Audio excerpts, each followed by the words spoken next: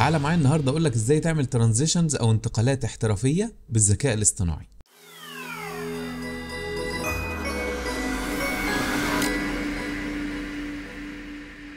أهلا بيكم يا شباب معاكم بيتر شكري والنهارده جاي أتكلم معاكم على حاجة مهمة جدا جدا جدا بما إن الذكاء الاصطناعي دخل في كل حاجة.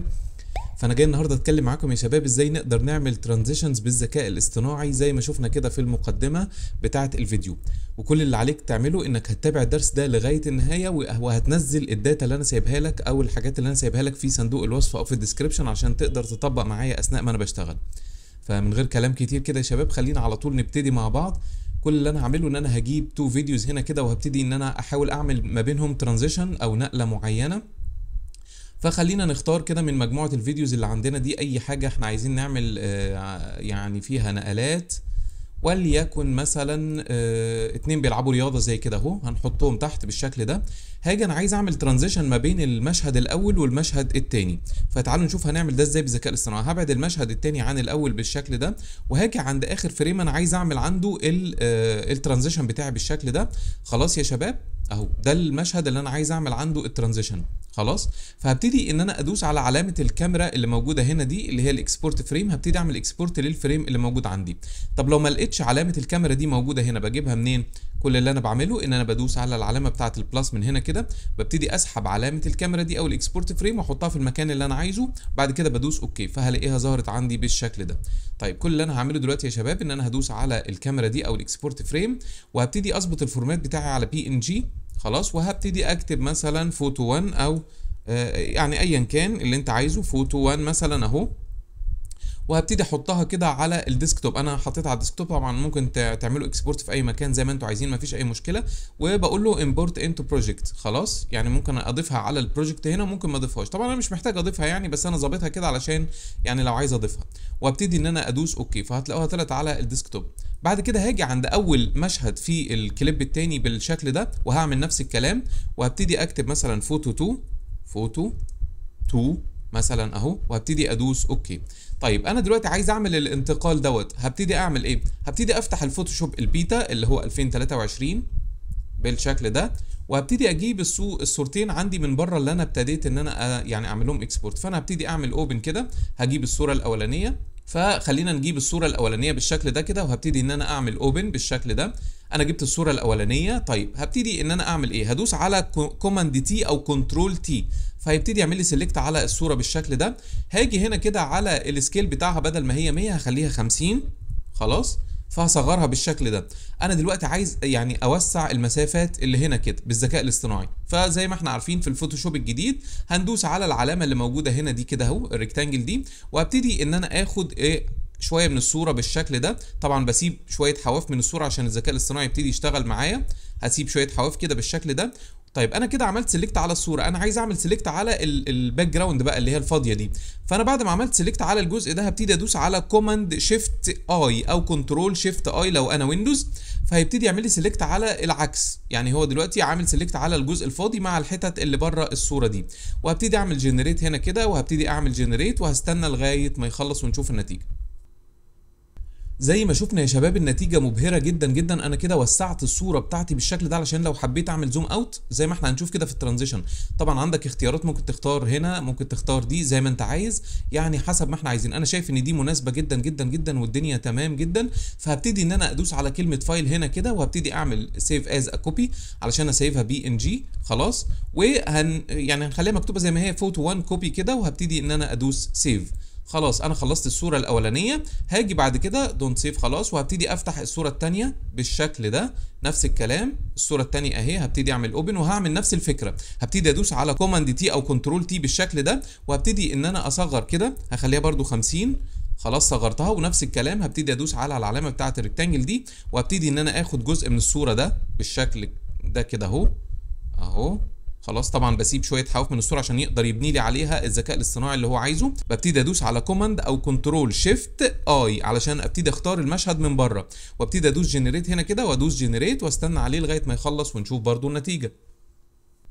طيب زي ما شفنا النتيجة كده يا شباب لو ما عجبتنيش أول نتيجة ممكن أختار آه، نتيجة زي كده مثلا. النتيجة دي كويسة ممكن أختار نتيجة زي كده. وممكن لو أنا ما عجبنيش حاجة من دول أقدر إن أنا أدوس generate مرة تاني. أنا شايف إن دي ممكن تكون مناسبة. هي الفكرة إن إحنا هنخلي أصلا ال transition ده سريع فمش هيبان كل التفاصيل دي. تمام؟ دي يعني أنسب واحدة في الثلاثة اللي هو جابهم لي. هبتدي أدوس على file برضو. هبتدي إن أنا أعمل save as a copy أو save a copy على طول. وهبتدي هنا كده برضو هسيبها بنفس الاسم فوتو 2 copy خلي بالكم. وهبتدي إن أنا أدوس save هنا كده وابتدي ادوس okay. كده المهمة خلصت على ال Photoshop. هبتدي ان أنا ادخل على ال Premiere مرة تاني وهجيب الصورتين دول من بره الصورتين اللي هو يعني طلعهم لي من ال Photoshop. فانا هاجي على ال desktop كده وهبتدي ان أنا ادوس على ال copy رقم واحد وال copy رقم اتنين وهجيبهم بالشكل ده. كل اللي أنا عملته ان أنا وسعت شوية الصور بتاعتي يا شباب. فهبتدي اختار كده الصورة الأولانية نهايتها هنا كده. هبتدي أحط وراها أو الفيديو الأولاني هبتدي أحط وراها الصورة دي. طبعا هعمل select على الصورة الأولانية بس. وابتدي احطه بالشكل ده. طبعا هاجي هنا على ال speed وال duration وأخلي ال duration بتاعها مثلا خمس فريمات ولا حاجة هبتدي أدوس مثلا خليها سبعة أو خمسة زي ما إحنا عايزين خليها مثلا خمسة خمسة frame وهبتدي إن أنا أدوس كده أهو خلاص ولا ممكن نكبرها شوية زي ما إحنا عايزين يعني ممكن نيجي هنا كده بدل ما هي خمسة frame نخليها سبعة نكبرها شوية أهو هتبقى كده. وهاجي على الصورة التانية احطها جنبها بالشكل ده وهبتدي إن أنا أعمل speed و duration برضو وهبتدي إن أنا أخليها 7 frame وهبتدي أدوس okay يبقى أنا حطيت الصورتين جنب بعض. جه بقى وقت يا شباب الانتقال أو النقلة اللي إحنا هنعملها ما بين الصورتين خلاص؟ وهبتدي ألزق الفيديو بعد كده في الصورة أو ورا الصورة الثانية هبتدي أدوس كده أهو أنا كده حطيت الصورتين في النص ده اللي أنا هعمل فيه ال transition حلو جدا. طيب هبتدي أعمل ال transition إزاي؟ خلي بالكم. بصوا كده الصورة بتاعتي آه، يعني إيه الصورة الأساسية بتاعتي أهي. والصورة الثانية أهي. بصوا وسعت إزاي؟ طيب أنا مش عايزها تبقى كده أنا عايز أرجعها لأصلها تاني الصورة دي. الصورة دي أنا كنت مصغرها بمقدار 50 هاجي على ال effect controls بدل ما هي 100% كده هخليها 200% علشان تبقى في وضعها الطبيعي. فهنا كده لو رجعت frame بصوا الصورة في وضعها الطبيعي أهو. بصوا كده في وضعها الطبيعي. طب هاجي أعمل كده برضو في الصورة الثانية بدل ما هي 100 هخليها 200 لأنه ده بالذكاء الاصطناعي. بعد كده هاجي هنا كده هلاقي إن الفيديو شغال بعد الصورة عادي جدا أهو. يبقى أنا كأني ما عملتش حاجة. طيب حلو جدا. وبعدين هاجي على الصورة الأولانية كده وهبتدي أدوس على ال effects من هنا وهبتدي أختار effect اسمه transform. transform. أهو هنلاقيه موجود. أدي ال transform أهو. هبتدي أرميه على الصورة الأولانية وهبتدي أرميه على الصورة الثانية طيب إيه اللي أنت عايز تعمله بقى؟ خلي بالكم. هنيجي هنا كده هنسيب في الأول زي ما هو عند ال scale خلي بالكم هسيب ال scale زي ما هو أحط بس key frame وهاجي عند آخر الصورة دي قبل ما تنتهي كده ب frame واحد بس وهبتدي إن أنا أرجعها بمقدار كام بقى يا شباب؟ بالمقدار اللي أنا عملته على ال Photoshop اللي هو 50 فهترجع بالشكل ده. خلاص هبتدي أبعدها بس شوية كده عشان تبقى عند نهاية الصورة. وهاجي هنا كده هعمل العكس. هخلي دي بقى تكون موجودة أو يعني تكون موجودة بالشكل ده أو تكون مثلا آه zoom out يعني هخليها مثلا تبتدي بال50 كده أهو. بالشكل ده وهبتدي أحط ال scale هنا كده وهبتدي إن أنا أعمل كده أهو هرجع تاني frame واحد بس وأخليها عند ال100 هرجعها لوضعها الطبيعي بالشكل ده وهبتدي إن أنا أعمل كده. بصوا يا شباب اللي هيحصل دلوقتي عند ال transition بصوا كده شفتوا اللي حصل؟ أنا عملت transition بالذكاء الاصطناعي. طب أنا خلصت كده؟ لا طبعا. نقدر إن إحنا ننزل تحت كده على ال transform اللي إحنا عاملينه ده ونخلي كده ال shutter بتاعنا نخليه على أقصى حاجة. شايفين كده عشان يعمل لي التأثير اللي إحنا شايفينه ده. ونيجي على الصورة الثانية كده وننزل تحت برضو ونحط كده ال shutter بتاعنا على أعلى حاجة. فين ال shutter angle أهو نخليها على أعلى حاجة. فبصوا برضو التأثير حصل في إيه؟ بصوا يا شباب أهو. طيب هل أنا خلصت كده؟ لا ده إحنا ممكن نعمل حاجة تاني كمان مهمة جدا. أنا ممكن أجي هنا كده أهو. بصوا يا شباب وأبتدي إن أنا أعمل كده وأدوس click يمين وأقول له new item وأبتدي أحط كده adjustment layer خلاص بالشكل ده وابتدي إن أنا أعمل ال adjustment layer من فوق بالشكل ده وابتدي أحطها على قد الصورتين بالظبط. وهنا بقى هختار effect اسمه lens تعالوا ندور كده على effect اسمه lens خلاص distortion أهو lens distortion أهو. هبتدي أحطه هنا كده أهو بالشكل ده وهاجي على الأول في أول ال adjustment layer كده وهخلي بصوا كده ال curvature ده هخليه كده عند ال zero خلاص وهبتدي آجي عند آخر برضو ال adjustment layer وهبتدي إن أنا برضو أحط نفس ال key frame هو هو. بس في النص ما بين المشهدين في الحتة اللي في النص كده يعني خلينا نمشي frame كده في الحتة اللي في النص دي هزود ال curve ده كده أو هزوده كده عشان تبقى الصورة بتاعتي بتتمد بالشكل ده. فبصوا بقى التأثير اللي حصل. شايفين يا شباب؟ طبعا نقدر نسرع ونبطئ بصوا مع sound effect يبقى أنا عملت أحلى transition بالذكاء الاصطناعي. لو أنا حطيت sound effect في الحتة دي كده أهو بصوا طيب خلينا نطلع ال sound effect لقدام شوية. بصوا كده يا شباب. يبقى انت عملت أحلى تأثير وتقدر ان انت تسرع ال- ال- ال key فريمات هنا تقدر بدل ما هو 7 frame تقدر تخليه 5 frame أو زي ما انت عايز. طيب في transition تاني ممكن نعمله بالتأثيرات دي؟ آه نقدر. إزاي بقى؟ بص لو أنا عايز أعمل نقلة كده بالجنب يعني خلينا نشيل ال adjustment layer دي وبدل ما أنا هعمل ال scale بتاعي يعني بدل ما أنا هخليه في ال scale ده تعالوا نلغي الكلام ده خالص. أنا هشيله أهو عشان ما تتلخبطوش. خلينا نشيل ال transform ده خالص ونشيل من هنا ال transform ونضيفهم تاني عشان ما تتلخبطوش. طب لو أنا عايز أعمل تأثير مختلف شوية هنا أنا خليته 200% وهنا برضو هنخليه 200% علشان يبقى نفس ال- الصورة زي الفيديو تمام؟ ما يبقاش فيه اختلاف. طيب وبعدين هضيف برضو ال transform وأبتدي أعمل تأثير مختلف. بصوا كده أنا قصدي أوريكم عشان تقدروا إن أنتوا إيه يعني آه، تعملوا ترانزيشنات زي ما أنتوا عايزين. أنا هضيف ال transform هنا وهضيف ال transform على الصورة دي. طيب وبعدين بدل ما هعمل scale يا شباب هاجي هعمل position خلاص ما أنا موسع الصورة خلي بالك.